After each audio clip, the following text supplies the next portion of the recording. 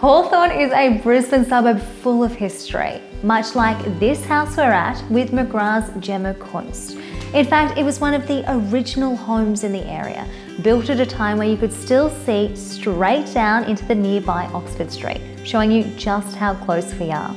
It's this view and central position the original owner of the house was recorded to say she wouldn't trade for Buckingham Palace. The major draw card for buyers these days to Hawthorne would be the leafy streets, they're wide, they're family friendly. There's a real community spirit to Hawthorne.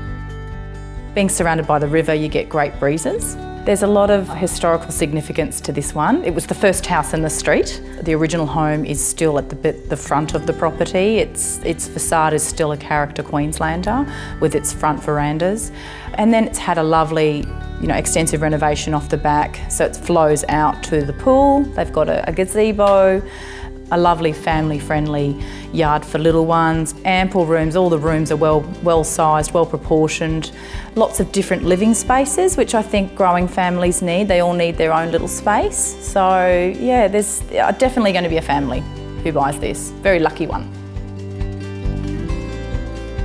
For more about the property you can contact Gemma Kunst.